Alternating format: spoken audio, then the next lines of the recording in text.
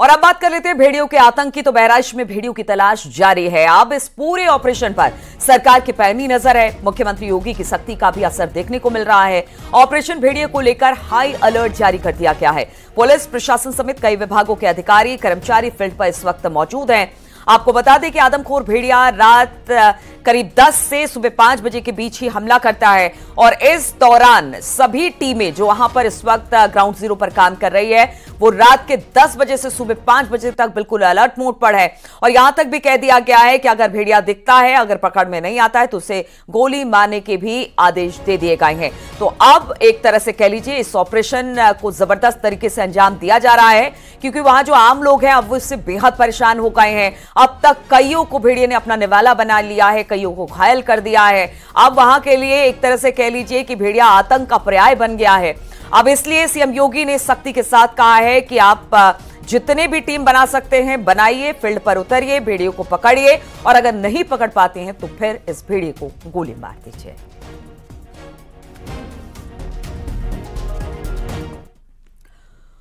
और अब बात उस भेड़िए की करते हैं जिसकी उत्तर प्रदेश की सियासत में एंट्री हो चुकी है। निशाने पर अखिलेश यादव हैं और शिवपाल यादव। सीएम योगी ने न सिर्फ़ अखिलेश और शिवपाल की तुलना भेड़िए के आतंक से कर दी, बल्कि उन्होंने 2017 से पहले भेड़िया काल की भी का भी ज़िक्र किया है।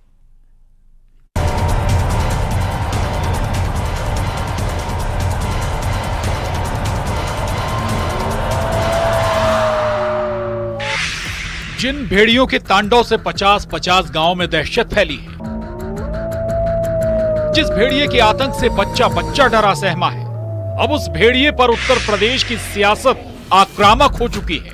नहीं देखिए, जान इसलिए जा रही है क्योंकि सरकार काम नहीं कर रही है। सरकार को काम करना चाहिए इस पे भी कि जहाँ इस तरह की घटना हो रही है, सरकार अपना पूरा विभाग लगाए और बच्चों की और परिवारों की जान बचाए। अखिलेश यादव ने जैसे ही आदमखोर भेड़ियों को यूपी की सियासत में एंटर करवाया, वैसे ही योगी ने जुबानी एनकाउंटर कर दिया। सीएम योगी ने भेड़ियों के आतंक को समाजवादी पार्टी के शासनकाल से जोड़ दिया और बता दिया कैसे 2017 से पहले सियासी भेड़िए उत्पात मचा रहे थे। चाचा भतीजे में होड़ लगती थी वसूली को लेकर के। कौन कितना वसूल कर ले? एरिया बटे हुए थे। मैं देख रहा हूँ ना इस समय कुछ आदमखोर भेड़िया प्रदेश के अंदर अलग अलग जनपदों में उत्पात मचा रहे हैं। और कमोबेश यही स्थिति 2017 के पहले प्रदेश की थी। ये लोग उस समय कितनी तबाही मचाए हुए थे, किसी से छुपा हुआ नहीं है। और इनके भी एरिया बटे हुए थे वसूली के। कहीं चाचा, कहीं भतीजे, महाभारत के सारे रिश्ते थे, सारे रिश्ते। फेल हो जाएगा। महाभारत का दूसरा दृश्य वहाँ देखने को मिलता था। सीएम योगी ने न सिर्फ़ समाजवादी पार्टी के शासनकाल को भेड़ियों की दहशत से जोड़ा, बल्कि उन्होंने अखिलेश यादव और शिवपाल यादव को भी निशाने पर ले लिया। सीएम योगी ने कहा, चाचा भतीजा 2017 से पहले प्रदेश में भेड़िया राज लाना चाहते थे। भेड़ियों की तरह इनके भी वसूली के इलाके बटे हुए थे। दोनों आदमखोर भेड़ियों की तरह उत्पात मचा रहे थे। योगी की इसी टिप्पणी पर जब न्यूज़ 18 के रिपोर्टर ने अखिलेश से सवाल पूछे तो उन्होंने सवाल को नजरअंदाज करते हुए रुख विधानसभा का कर लिया। सदन में बाकायदा लखीमपुर, पीलीभीत, बहराइच, सराबस्ती और आपके बिजनौर, उन जिलों की सूची दी गई कि यहाँ से लोगों के जंगल से जो जानवर आ रहे हैं, जिसकी वजह से जान जा रही है। कई सौ किसान, गरीब, उनकी जान गई है। हम लोगों ने मदद के लिए भी कहा सरकार से कि मदद मांग, मदद करें इन परिवारों की। लेकिन कोई मदद नहीं की गई सरकार की तरफ़ से। और इधर सरकार नहीं बता पा रही कि आखिरकार बच्चों को कौन उठा ले जा रहा है। सरकारी कंफ्यूज है। सियासत के इस भेड़िया काल में अब जुबानी संग्राम छिड़ चुका है। बीजेपी 2017 से पहले की दहशत को जनता के सामने ला रही है। तो समाजवादी पार्टी भी अब हमलावर हो चुकी है। भेड़िया जो है वो लालची होता है धूर्त होता है। और 2017 के पहले लालची और धूर्तों का जो है वो कार्यकाल था। तो चाचा भतीजे जो हैं वो भेड़ियों के आतंक के प्रतीक तो है ही। योगी आदित्यनाथ जी ने इसलिए जो है मनुष्य रूपी जो है भेड़ियों को पहचानने का काम किया है। तो सरकार सत्रह के बाद से काम क्यों नहीं कर पा रही है? ये निगेटिव राजनीति सरकार क्यों करती है? निगेटिव शब्दों का इस्तेमाल क्यों करती है? इसके मतलब उनके पास पॉजिटिव बताने को कुछ नहीं है। जब पॉजिटिव बताने को नहीं होता है, जब आप समाज के अंदर में बढ़ते हुए करप्शन को नहीं रोक पा रहे हो लॉ ऑर्डर मेंटेन नहीं हो पा रहा है, समाज में आप बेरोजगारी दूर नहीं कर पा रहे हो, महिला पे अत्याचार बढ़ता चला जा रहा है, तब आप पिछली सरकारों को, के ऊपर एक निगेटिविटी थोपने की कोशिश करते हो। यानी जिस भेड़िए को निपटाने के लिए वन विभाग समेत यूपी पुलिस दल बल के साथ खेत खलिहानों की खाक छान रही है। अब उसी भेड़िए की दहशत पर सियासत भी जमकर हो रही है और ज़िक्र 2017 से पहले समाजवादी पार्टी के शासनकाल का हो रहा है। Bureau report, news eighteen.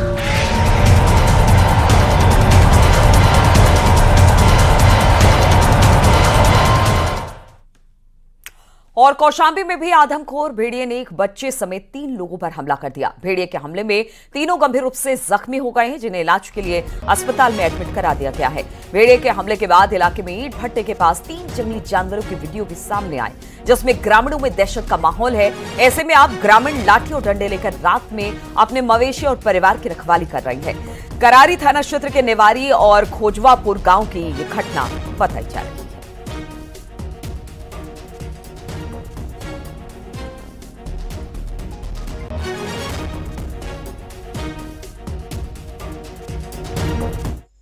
Bahraich Sitapur के बाद अब कौशाम्बी में भी भेड़ियों के खौफ से लोग दहशत में हैं।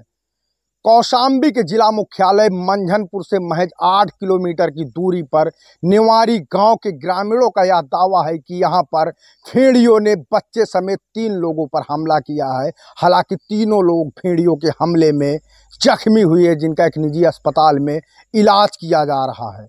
हमारे साथ लोग मौजूद हैं, हम बातचीत करेंगे, जो रात में इस वक्त कहीं ना कहीं भेड़ियों के खौफ से गाँव में पहरा दे रहे हैं उनसे बातचीत करेंगे कि आखिर क्या घटना घटी थी। पहले तो हम उस शख्स से बात करेंगे जिसके चोट लगी हुई है। कैसे चोट लगी आपके? सर जी, वो हम बकरिया चरा रहे थे नदी किनारे तो नीचे बैठे हुए थे, मच्छी पकड़ रहे थे। तो उधर बच्चे को, जो छोटा बच्चे को हमला किया था तो उसने चिल्लाया उधर बच्चे लोग सब बकरिया फकरिया चरा रहे थे। तो हमने समझा बच्चे लोग झगड़ा उगड़ा किए होंगे उसके बाद हम बैठ के नीचे मच्छी मारने लगे। और बकरिया हमारी ऊँचे पे थी। तो उसको देखा तो बकरिया को हमारे जब दौड़ा ना तो हमारी बकरिया नीचे गिर गई। नीचे गिर गई तो हमने ऊपर आके देखा कि क्या चीज़ है बकरियों को दौड़ाया। तो देखे ना तो वो कुछ दूर तक निकल गया था। कुछ दूर निकलने के बाद में हम जब उसको बोला कि ये जानवर जा रहा है तो पीछे लौट के हमारे ऊपर हमला किया। कौन सा जानवर था वो? जी भेड़िया सर था। कितने संख्या में थे? संख्या में तो एक ही उस टाइम दिखाई दिया। उसके बाद में जो बच्चे लोग को हमला किया वो दूसरा है। ये तो हमारे पास अकेले दिखा था वहाँ पे। कितने लोगों पे हमला किया? तीन आदमी पे। तीन आदमी? जी। तीनों लोगों को चोट पहुँचा जी एक बच्चा है छोटा दो आदमी तो तीस पैंतीस साल के हैं। और भी साथी हमारे साथ हम उनसे बातचीत करेंगे जिस गाँव के ग्रामीण हैं, आप इनको देख सकते हैं। इनको, इनके हाथों में लाठी डंडे हैं, कहीं ना कहीं एक इस बात के दहशत में है कि ये जो खुकार भेड़िया हैं, जैसा कि ग्रामीणों की ओर से लगातार दावा किया जा रहा है कि जो हमला किया गया है दिन पर बच्चे समेत तीन लोगों पर, वो भेड़ियों के द्वारा किया गया। हम इन्हीं से बातचीत करेंगे, वे जानने की कोशिश करेंगे कि आखिर क्या हुआ था गाँव में? लाठी लेके आप टहल रहे हैं। लाठी लेके घूमते हैं, सर। भेड़िया बहुत ज़ोर किए हैं। भेड़िए के लिए लाठी लेके डंडा लेके टार्च लेके घूम रहे हैं। बच्चे सो रहे हैं जानवर भी बांधे हैं। तो मतलब रक्षा कर वो देखने के लिए कितने लोगों पे भेड़ियों ने हमला किया तीन लोगों पे किया। कितनी की संख्या में थे भेड़िए? अरे वो पाँच छः के संख्या में थे। अच्छा। बाकी सब साथ में नहीं गए पाँच छः हैं। अच्छा। ठीक। और भी लोग हम उनसे बातचीत करेंगे। आपके हाथ में लाठी है। किस बात की दहशत है आप? यहाँ पे जानवर निकला है भेड़िया। अच्छा। रात बिरात में दिन में भी तोड़ता है रात में भी लड़के लोग सोते हैं गर्मी और सीएम योगी के दौरे की अब बात कर लेते हैं तो सीएम योगी आज सुबह साढ़े दस बजे अयोध्या पहुँचने वाले हैं। मुख्यमंत्री योगी का हेलीकॉप्टर रामकथा पार्क पहुंचेगा। यहाँ से सीएम योगी राम सेवकपुरम में श्री रामनाथ स्वामी मंदिर में आयोजित धार्मिक अनुष्ठान में हिस्सा लेने पहुँच रहे हैं। तो आज अयोध्या का दौरा है। मुख्यमंत्री योगी आदित्यनाथ का आज सुबह साढ़े दस बजे करीब अयोध्या पहुँचने वाले हैं मुख्यमंत्री योगी आदित्यनाथ। और इसके बाद सीएम योगी अयोध्या से गोरखपुर भी पहुँचेंगे। मुख्यमंत्री योगी आदित्यनाथ शिक्षक दिवस सम्मान समारोह में हिस्सा लेंगे। शिक्षक दिवस के मौके पर प्रदेश भर के चौवन शिक्षकों को सम्मानित किया गया जाएगा। दरअसल पहली बार लखनऊ से बाहर गोरखपुर में कार्यक्रम का आयोजन होगा। सीएम योगी पहली बार लखनऊ की जगह गोरखपुर में हो रहे आयोजन में पहुँचेंगे। ये कार्यक्रम शाम को चार बजे रखा गया है।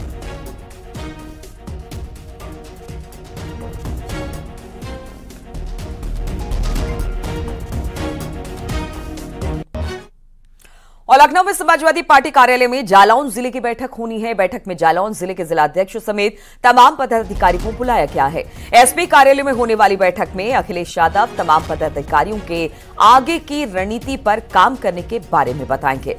आपको बता दें कि बुधवार को गोरखपुर ज़िले की बैठक हुई थी, जिसमें तमाम पदाधिकारी भी शामिल हुए थे और अब जालौन की बैठक में भी तमाम पदाधिकारियों को बुलाया गया जिसमें अखिलेश यादव इनसे आगे की रणनीति पर चर्चा करने वाले हैं।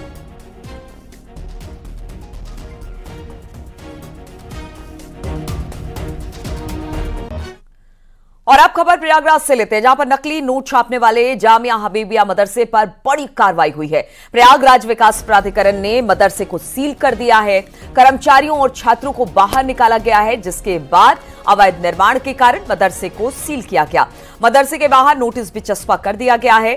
हम आपको बता दें कि मदरसे में नकली नोट की छपाई चल रही थी। मदरसे से आपत्तिजनक किताब मिली थी। मदरसे के प्रिंसिपल को पहले ही गिरफ़्तार किया जा चुका है। साथ ही नकली नोट के दो मास्टरमाइंड को भी गिरफ़्तार कर लिया गया था। और अब सील की कार्रवाई की गई है।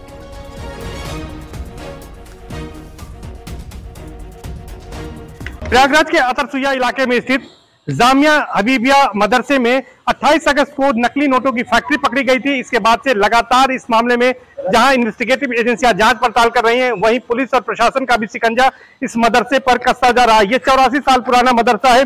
अब इस मदरसे पर सीलिंग की कार्यवाही प्रयागराज विकास प्राधिकरण की ओर से की गई है। प्रयागराज विकास प्राधिकरण की टीम आज दोपहर करीब तीन बजे यहाँ पर पहुँची थी और यहाँ पर करीब सत्तर बच्चे थे, बारह प्रबंध कमेटी के लोग थे। इसके साथ ही साथ यहाँ पर जो उनके परिवार के लोग रहते थे, तकरीबन सौ लोग थे जिन्हें यहाँ से बाहर निकाला गया और बाहर निकालने के बाद इस मदरसे को पूरी तरह सील कर दिया गया है। सीलिंग के बाद यहाँ पर प्रयागराज विकास प्राधिकरण की ओर से एक नोटिस बोर्ड भी लगाया गया है, जिसमें साफ़ तौर पर यह लिखा गया है कि अनास्कृत होने के चलते यह निर्माण सील किया गया है। इस निर्माण में सील को तोड़ना, पुनर्निर्माण की कोशिश करना तथा किसी प्रकार के क्रय विक्रय करना अवैधानिक एवं दंडनीय अपराध है।